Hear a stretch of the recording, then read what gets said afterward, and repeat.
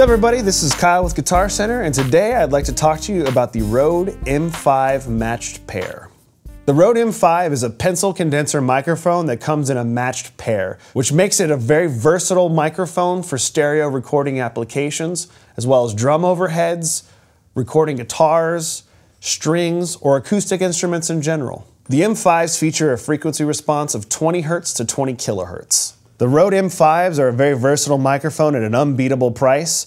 Perfect addition for any mic locker. Check them out now at Guitar Center or online at guitarcenter.com.